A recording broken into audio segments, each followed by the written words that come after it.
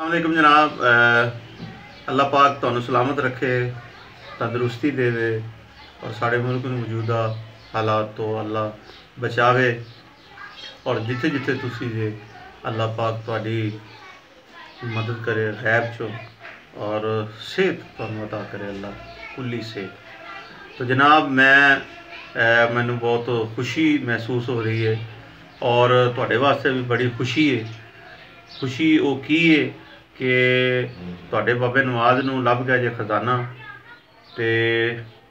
ਹਾਂ, ਖਜ਼ਾਨਾ ਤੁਸੀਂ ਉਹ ਨਾ ਸਮਝ ਲਿਆ ਜੇ ਕਿ ਮੈਨੂੰ ਪਤਾ ਨਹੀਂ ਕੋਈ ਪੈਸੇ ਲੱਭ ਗਏ ਨੇ ਰਕਸ਼ੇ 'ਚੋਂ ਜਾਂ ਮੈਨੂੰ ਕਿਧਰੋਂ ਕੋ- ਕੋਈ ਹੋਰ ਮਾਲ ਲੱਭ ਗਿਆ। ਮਾਲ ਜਨਾਬ, ਉਹ ਮਾਲ ਨਹੀਂ ਲੱਭਿਆ। ਅਸਲ ਮਾਲ ਲੱਭਿਆ ਜਿਹਦੇ ਨਾਲ ਦਿਲ ਆਪਣਾ ਖੁਸ਼ ਹੋਣਾ। ਹੈ।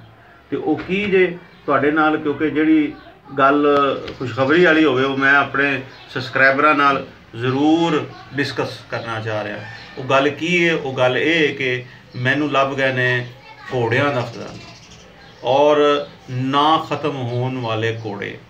ਯਾਨੀ ਕਿ ਇੰਨੀ ਤਾਦਾਦ ਦੇ ਵਿੱਚ ਘੋੜੇ ਔਰ ਉਹ ਘੋੜੇ ਕਿ ਤੁਸੀਂ ਇੰਡੀਆ ਦੇ ਜਿਹੜੇ ਚੈਨਲ ਨੇ ਉਹ ਇਨਸ਼ਾਅੱਲਾ ਤਾਲਾ ਮੇਰਾ ਤੁਹਾਡੇ ਨਾਲ ਵਾਅਦਾ ਹੈ ਕਿ ਤੁਸੀਂ ਇੰਡੀਆ ਦੇ ਚੈਨਲ ਵੇਖਣੇ ਬੰਦ ਕਰ ਦਿਓਗੇ ਤੇ ਇਨਸ਼ਾਅੱਲਾ ਮੇਰੇ ਪਾਕ ਵਤਨ, ਮੇਰਾ ਪਾਕ ਪਾਕਿਸਤਾਨ ਅੱਲਾਹ ਤਾਲਾ ਸਲਾਮਤ ਰੱਖੇ ਔਰ ਦੁਸ਼ਮਣਾਂ ਦੀਆਂ ਨਜ਼ਰਾਂ ਦੇ ਵਿੱਚ ਖਾਕ ਤੇ ਇਨਸ਼ਾਅੱਲਾ ਤਾਲਾ ਐਸੇ ਐਸੇ ਘੋੜੇ ਤੁਹਾਡੇ ਅਹ, ਜਿਹੜੇ ਨੇ ਬਾਬੇ ਨਵਾਜ਼ ਨੇ ਤੁਹਾਨੂੰ ਵਿਖਾ ਛੱਡਨੇ ਨੇ ਇਨਸ਼ਾਅੱਲਾ ਤਾਲਾ ਔਰ ਗੁਮਨਾਮ ਹੀਰੋ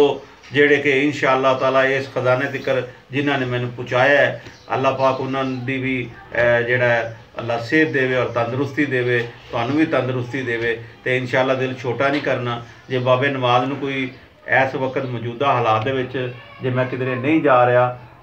ਤੇ ਉਹਦਾ ਇਹ ਮਤਲਬ ਨਹੀਂ ਹੈਗਾ ਕਿ ਮੈਂ ਕੋਸ਼ਿਸ਼ ਨਹੀਂ ਕਰ ਰਿਹਾ। ਮੈਂ ਘਰ ਬਹਿ ਕੇ ਵੀ ਸਿਰਫ ਤੁਹਾਡੇ ਵਾਸਤੇ ਕੋਸ਼ਿਸ਼ ਕਰ ਰਿਹਾ ਕਿ ਮੈਂ ਕਿਸੇ ਨਾ ਕਿਸੇ ਤਰੀਕੇ ਉਹ ਖਜ਼ਾਨੇ ਤੱਕ ਪਹੁੰਚ ਜਾਵਾਂ ਤੇ ਹੁਣ ਮੈਂ ਤੁਹਾਨੂੰ ਖੁਸ਼ਖਬਰੀ ਦੇ ਰਿਹਾ ਕਿ ਮੈਂ ਉਸ ਖਜ਼ਾਨੇ ਤੱਕ ਪਹੁੰਚ ਗਿਆ।